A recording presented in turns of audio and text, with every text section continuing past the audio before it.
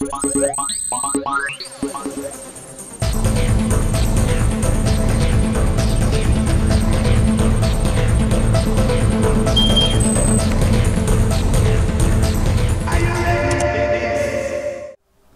sag ich du, doch. nackig. Ist nicht nackig. Federn, aber das ist nackig. Hexer. Herrin Vivienne? Du dachtest, ich verlaufe mich. Das stimmt. Ich hielt dich nicht für anders als die anderen Ritter. Gut im Turnier, erbärmlich im Angesicht echter Gefahr. Ich lag falsch. Du bist also doch keine Bruxa. Eine was? Das war mein erster Verdacht, dass du eine Vampirin bist. Ein paar Details schienen darauf hinzudeuten. Aber ich lag falsch. Naja, nicht so wichtig. Wie ich höre, kommst du öfters her. Hier hat alles angefangen. Und da ich dir nicht entkommen kann, mich vor dir nicht retten kann, will ich, dass es hier geschieht. An diesem Ort. Ohne Zeugen. Das was geschieht? Na, du bist doch ein Hexer. Du wurdest gedungen, um mich zu töten, oder nicht? Also mach es jetzt und bitte schnell. Ich wehre mich nicht. Hexer jagen nur Monster und auch nicht jedes. Du bist kein Monster. Was soll ich denn sonst sein?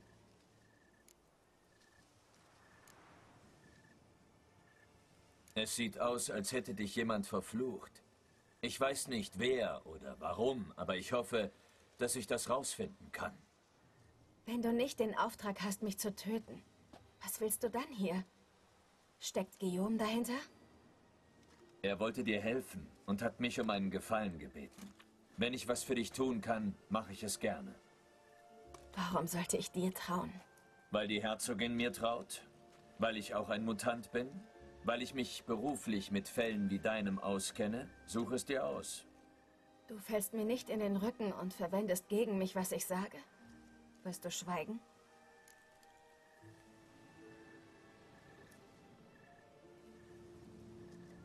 Du hast nichts zu befürchten. Ich bin hier, um dir zu helfen.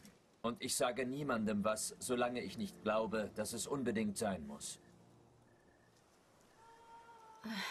Sei es drum. Ich sage dir, was meine Mutter mir erzählt hat.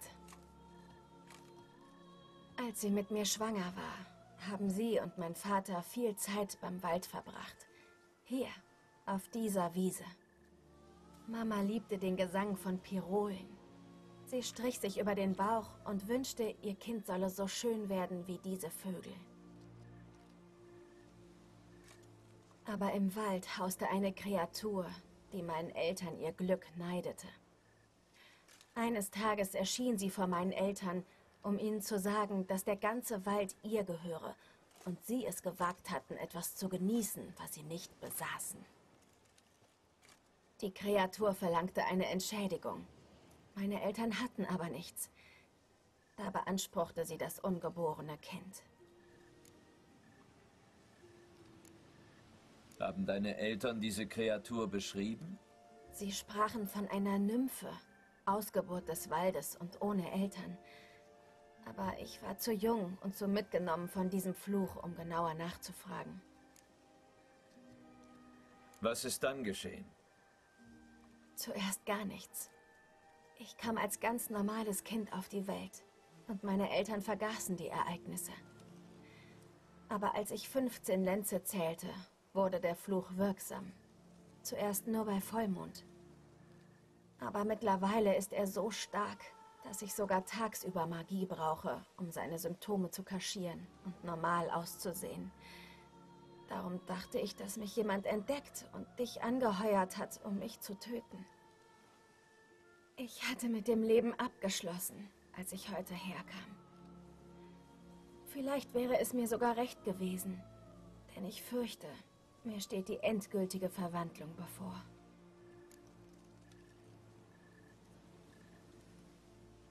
Vielleicht kann ich den Fluch brechen. Ich habe mal einen Baron getroffen, der sich endgültig in einen Kormoran verwandelt hatte. Ich konnte ihn vollständig heilen. Meinst du wirklich, dass es diese Möglichkeit für mich gibt? Ich kann nichts versprechen. Du bist ein schwerer Fall. Du wurdest vor deiner Geburt verflucht. Schon das macht die Sache schwierig. Und dann sagst du, dass die Symptome stärker werden.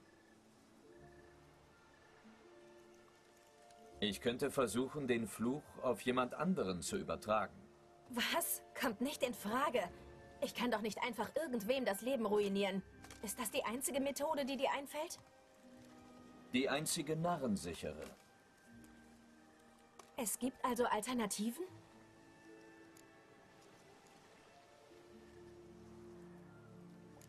Also schön. Es gibt noch eine Möglichkeit. Ein altes Ritual. Wir brauchen das Ei eines Pirols. Damit müsste der Fluch sich abschütteln lassen. Aber ich muss dich warnen. Es könnte ernste Folgen geben. Was denn für Folgen? Der Fluch wurde ausgesprochen, bevor du auf die Welt kamst. Das Ritual sieht vor, ihn auf ein ungeschlüpftes Küken zu übertragen. Dann wärst du frei. Allerdings besteht die Gefahr, dass dir nur die Lebensspanne eines Pirols bliebe. Sieben Jahre. Ich verstehe. Ach, jede Rose hat ihre Dornen. Sowas wie ein glückliches Ende gibt es nicht. Jedenfalls nicht für mich. Ich bin auf den Tod vorbereitet. Und nun bietest du mir sieben Lebensjahre in Freiheit an? Das ist kein Dilemma. Ich bin von ganzem Herzen einverstanden. Das kann ich nachvollziehen. Du musst dich noch nicht entscheiden. Überdenk es. Das mache ich. Sicher vermisst man mich beim Turnier bereits. Wollen wir zurückgehen? Gerne. Aber willst du nicht... Ach, richtig. Ich kann das schlecht in Federn aufkreuzen. Entschuldige mich einen Moment.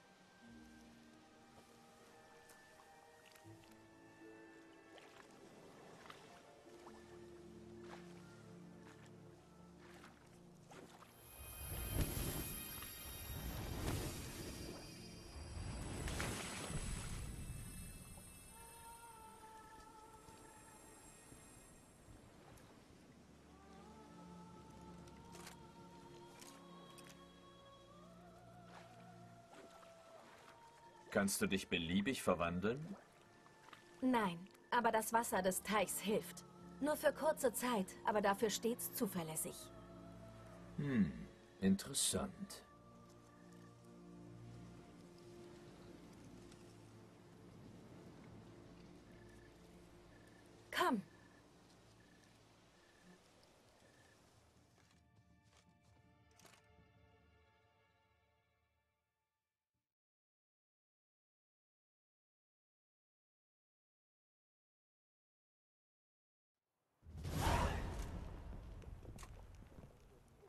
Hast du etwas erfahren? Ja, Dann raus damit, Mann. Siehst du nicht, dass ich außer mir bin vor Sorge? Was hat sie? sie hat mich um Diskretion gebeten. Aber ich will doch nur ihr Bestes. Vielleicht kann ich helfen oder, ich weiß nicht, sie wenigstens trösten.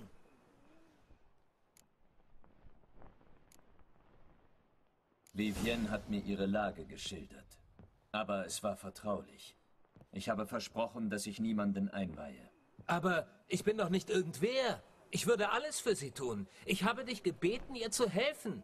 Du kannst mich doch jetzt nicht ausschließen. Tut mir leid. Bestimmt versteht Vivienne bald, wie viel sie dir zu verdanken hat. Aber bis dahin musst du einsehen, dass sich nicht die ganze Welt um dich dreht. Du wagst es, mir Lektionen erteilen zu wollen? Diese Art von Hilfe habe ich nicht gewollt. Und für dich habe ich meinen Turnierplatz geopfert.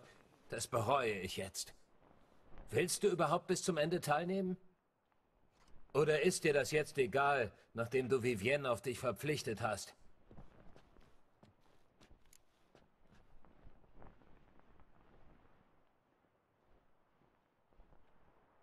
Ich bin beim letzten Scharmützel dabei. Außerdem wird Vivienne bis zum Ende des Turniers beschäftigt sein. Wie wahr? Dann musst du die Ritter deiner Fraktion kennenlernen. Du findest sie auf dem Übungsgelände beim Eingang der Arena. Alles klar, danke.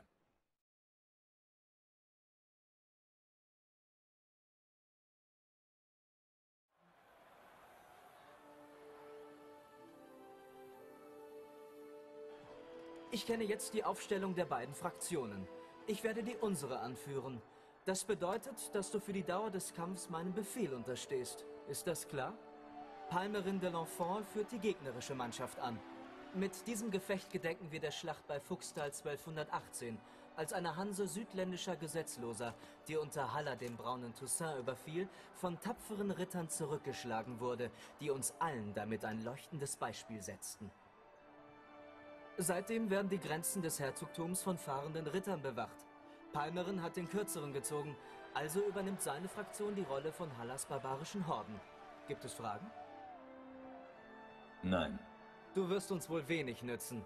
Als Hexer hast du ja keine Ahnung vom Ritterkampf. Versuch wenigstens, uns aus dem Weg zu bleiben. Es ist Zeit, meine Herren. Nehmt eure Waffen und begebt euch in die Arena.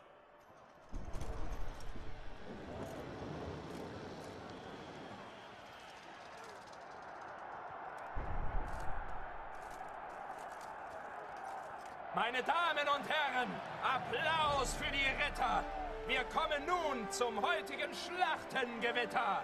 Es fechten zwei Mannschaften, etliche Mann, bis irgendwann die eine von beiden nicht länger mehr kann. Doch Obacht! Wenn jemand sich ehrlos beträgt, so wird er mit Schimpf und mit Schande belegt. Seht die Ritter, sie treten sogleich hier an. Die Spannung darob man fast greifen kann. Wer obsiegt, der fordert den Meister heraus. Die anderen gehen ohne den Titel nach Haus.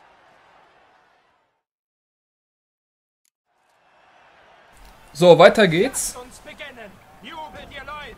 Blut, Schweiß und Tränen in Bächen gibt's heute. So, mal gucken, wie, wie sich der gute Soul jetzt in dem Ritterkampf schlägt. Oh, oh, 3 gegen 1. Das ist fast wie die Hooligans. Alle auf einmal. Ich sollte mal die Fackel wegstecken. Ja, solltest du.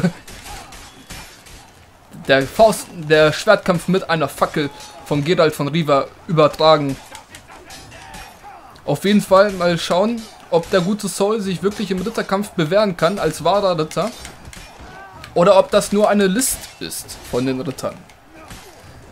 Geralt von Riva. Das ist ein tapferer Name. Wuhu. Baron Palmer, Palmerin de Lafont.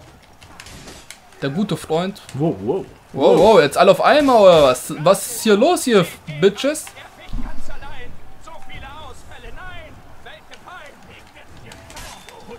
Pass auf, den Typ mit der Lanze, der ist, Die sind immer böse. der ist böse. Hinter dir. Okay. Es ist noch nicht zu spät, sich zu ergeben. Wir ergeben uns nicht. Wow, wow. Jungs, ruhig bleiben. Schwalbe. Alter, die haben denen gar nichts abgezogen, ey. Ja, können nichts. Was von Lappen. Lass dich nicht einkreisen.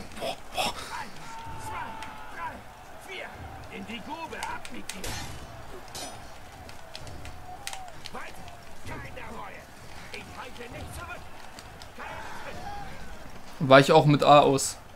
Mit A verbrauche ich Ausdauer. So. Die brauche ich eventuell noch. Wow. Oh, das war knapp. Gleich hast du Palmerin auf jeden Fall. Einen nach dem anderen sys sys- systematisch, würde ich sagen. Das ist die beste Lösung hier. Schön ruhig. Der erste Wir haben ist weg. Zeit. Nehme ich erstmal den Lanzenaffen aus dem Spiel. Ja. Pisser. Wow, wow, Junge. Oh, bleibt geschmeidig und ruhig, ihr Fro äh, Fotzen. Alle zusammen! Tanzt das Brot. Warum tanzt das Brot, wenn du mal traurig bist? Keine Ahnung warum. Es bleibt alles wie es ist. das passt auch so gerade, wie er hier gerade am Dancen ist, weißt du? So, so viel zum Motto. Alle zusammen. Tanzt das Brot. Du wirst es nie lernen. Geh von der Wand weg.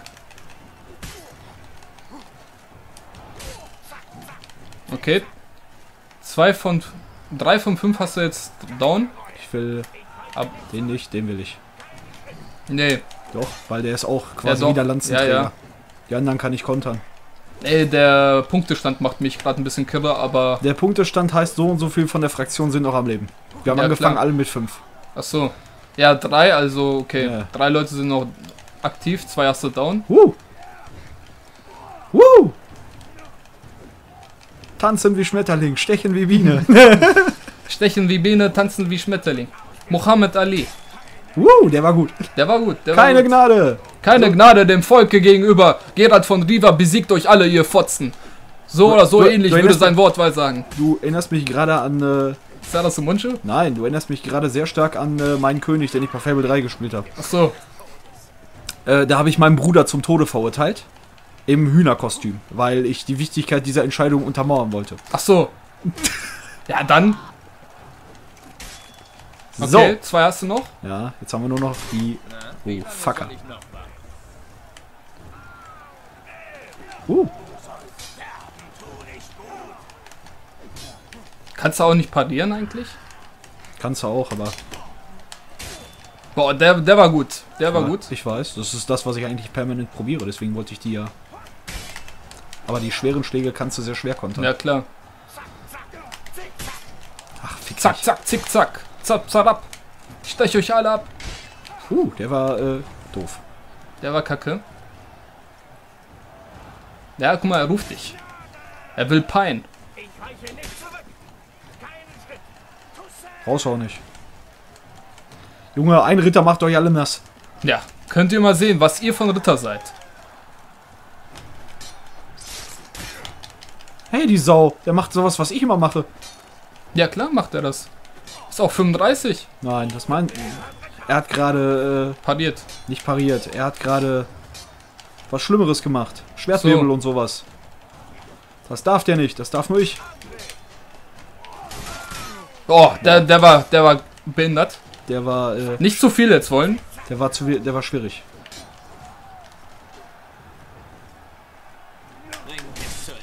Ach, fick dich. Geh auf Nummer sicher. Okay, einen hast du jetzt noch.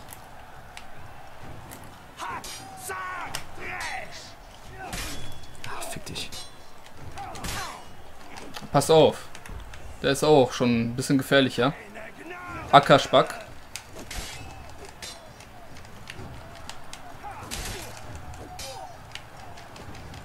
Oh, ich hatte ganz vergessen, dass wir Gift Vergiftung drauf auf, Gift haben. haben auf dem Schwert. Ja, ja. Wuhu! Okay, das ist jetzt easy peasy. Dann haben wir, glaube ich, auch die Quest damit gleich beendet. Ne, haben wir noch gar nicht. Wir müssen die ja noch vom Fluch befreien.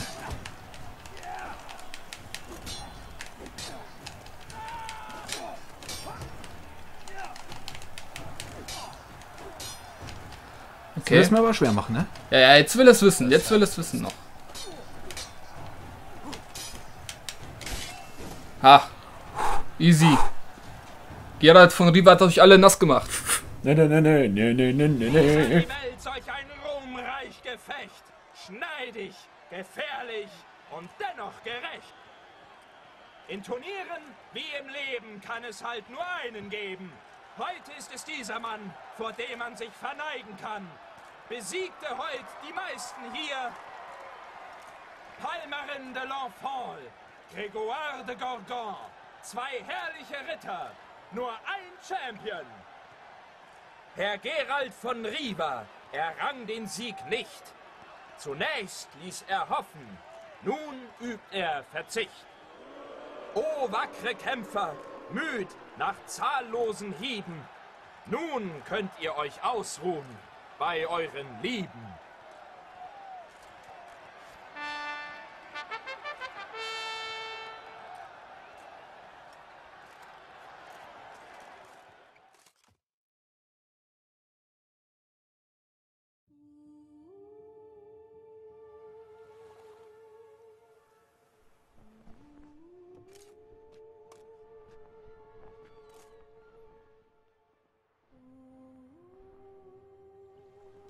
Sei gegrüßt, Herrin. Hast du dich entschieden? Habe ich. Ich stehe zu meinem Wort. Ich will niemanden gefährden und wähle daher die Methode mit dem Ei. Wenn es das Ei eines Pirol sein muss, weiß ich, wo wir eins finden. In der Nähe meiner Wiese ist ein Nest. Kannst du erläutern, wie das Ritual genau funktioniert? Schon, aber ich glaube, dein Zelt hat Ohren. Komm raus, Guillaume. Ich kann dich atmen hören. Und ich weiß genau, dass du es bist. Was treibst du hierher? Dies ist eine private Audienz. Gerald, was hat das zu bedeuten? Heckst du irgendwas aus, was ich nicht weiß?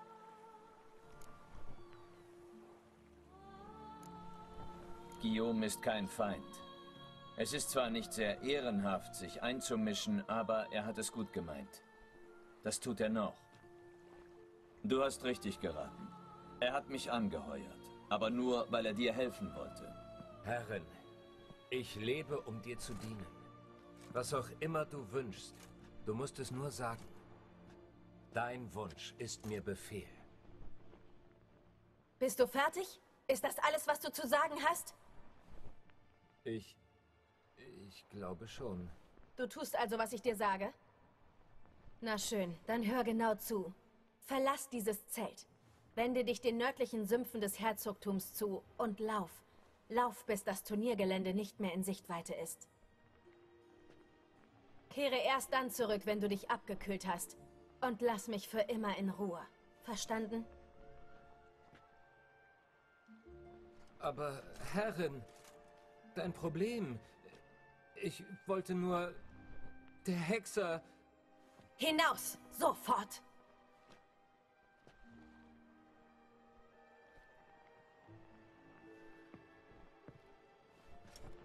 Du hast mir versichert, dass ich dir trauen kann.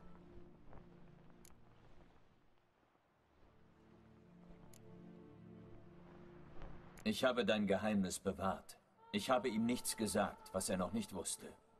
Er hat dich also angeheuert und du musstest ihm Bericht erstatten. Aber das ist nicht seine Angelegenheit, Gerald. Das ist mein Leben. Bist du sicher, dass es richtig war, seine Hilfe so hastig vom Tisch zu wischen? Ohne ihn ist das Ritual mit dem Spiegelbild nicht machbar. Dazu braucht es jemanden, der den Fluch freiwillig auf sich nimmt. Und du dachtest, damit wäre ich einverstanden?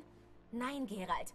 Auf der Wiese hast du mir von einem Ritual erzählt, das ohne die Hilfe von Lüstlingen auskommt. Und das ist die Methode, für die ich mich entschieden habe. Wir brauchen ein Ei. Am besten das eines Pirols. Das Ritual selbst ist nicht kompliziert, aber ich sagte ja, es hat eine Nebenwirkung. Bist du immer noch entschlossen? Ja, ich habe bei der Wiese ein Nest gesehen. Aber ehe wir gehen, sag mir, was wird aus dem Küken? Wir müssen das Ei zerbrechen. Wie du schon sagtest, gibt es nicht für jeden ein gutes Ende. Und man muss Opfer bringen, wenn man Träume verwirklichen will. Na schön, gehen wir.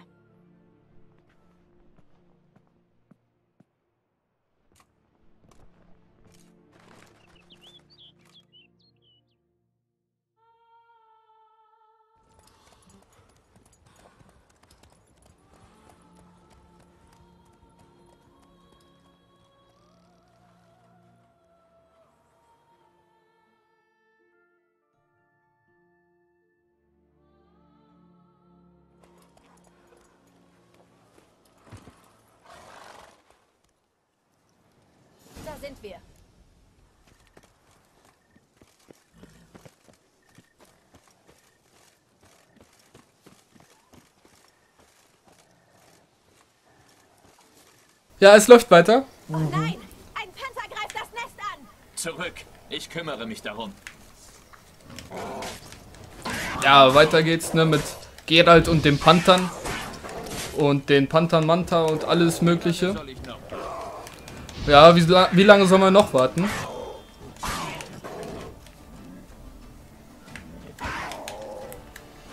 Oh, bleib mal ruhig hier.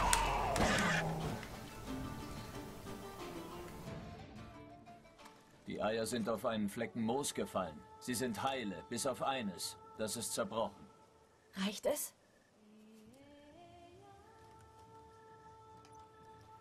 Glaub schon.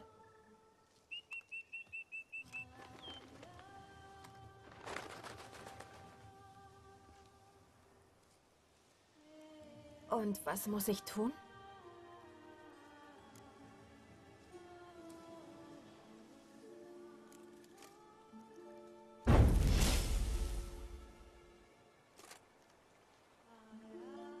Du musst dich jetzt konzentrieren. Sprich mir nach. Muna Ganderau, Muna Finerat. Muna Ganderau, Muna Finarat. Muna Ganderau, Muna Finarat.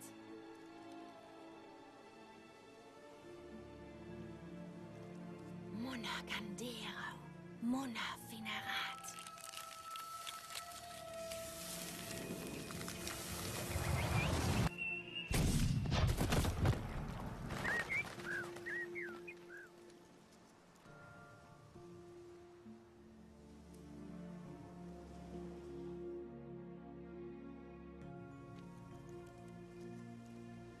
Verdammt.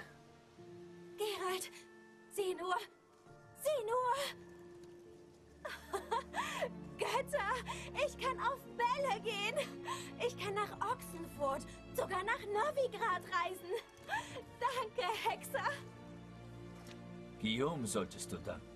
Er hat mich angeheuert, um dir zu helfen.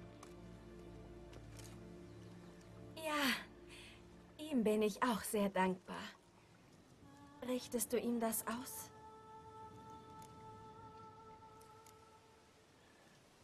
Das solltest du ihm selbst sagen, oder? Das kann sein, aber ich würde es lieber nicht tun. Richtest du ihm bitte meinen Dank aus? Sei so lieb. Gut, ich sag es ihm. Leb wohl, Vivienne.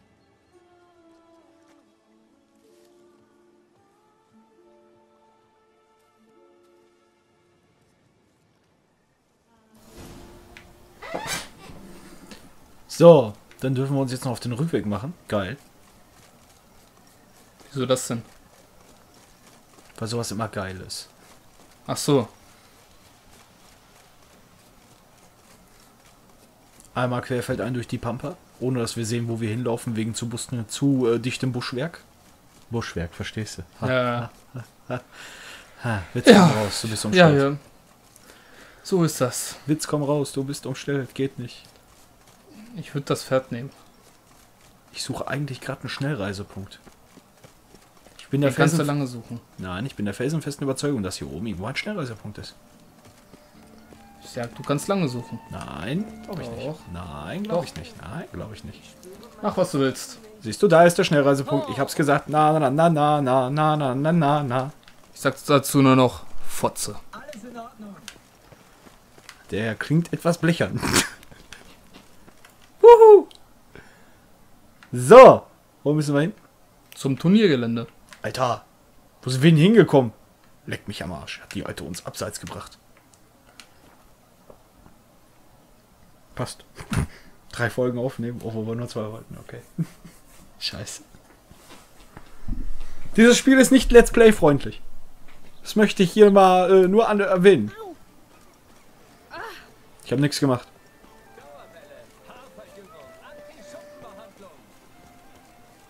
Bei meinem Schwur. Ich werde das Turnier gewinnen, Liebste. Gerald, was ist mit Vivienne? Ich konnte ihren Fluch brechen. Wirklich? Also wird alles gut. Sie kann unbesorgt sein?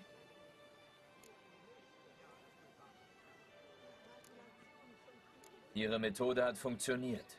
Aber wahrscheinlich hat sie nicht mehr lange zu leben. Sieben Jahre vielleicht. Ich kann mich aber auch irren. Na, hoffentlich. Du hast mich enttäuscht, Hexer. Ich habe dir vertraut und du? Es war Viviennes Entscheidung. Sie wollte es so. Das kannst du mir nicht vorwerfen. Mein Freund ist Barde und außerdem Philosoph. Amateur wohl.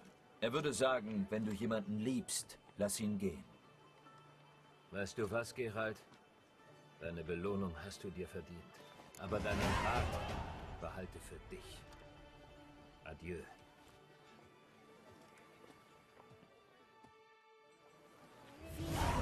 Somit ist die Quest jetzt endlich mal abgeschlossen. Dieses Nicht-Einsteiger irgendwas. Und wir können hier Mutations irgendwas machen.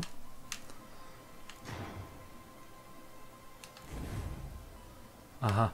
Ah, okay, die kann man immer wieder deaktivieren auch. Okay. Ja. Ja, nee, jetzt brauche ich schon drei fertig.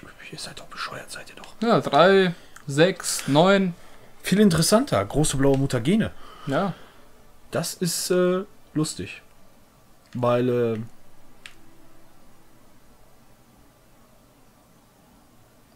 mhm. Okay. Das heißt, wir dürfen erstmal alles hier von den grünen und roten umwandeln. Ja. Klar. Aus, ausgezeichnet. Das aber nicht mehr heute. Nee, wir, äh, wir gehen jetzt nochmal hier eben durch das ganze Tutorial-Scheiß. Und äh, mixen mal eben schnell hier noch ein bisschen. Because we can. Ah, okay. Ich wollte gerade sagen, rotes Mutagen, rotes Mutagen, hä? Was ist hier los? Ansonsten können wir nichts äh, wirklich Tolles machen. Nee. Oh, weiße Möwe. War klar, da fehlt Zutat. Dann können wir schon mal überlegen, das schwarzes Blut machen. Voraussetzung, wir kriegen äh, Rebis. Wo ist der Rebis? Ich will jetzt nur gucken, ob wir Rebis haben. Ja, wir haben Rebis, Gott sei Dank. Das heißt, wir brauchen noch... Oh, Alter. Zwei weiße Möwen direkt wieder verballern. Okay, dann sagen wir jetzt an dieser Stelle zu euch äh, See you guys mit der Schnapszahl und äh, schaltet wieder ein, wenn es weitergeht mit äh, Witcher 3 Wild Hunt. Leute, wollt ihr kein Video mehr verpassen? Lasst ein Abo da und äh, wenn euch das Video gefallen hat, teilen, Däumchen drunter und für alles andere sind die Kommentare below.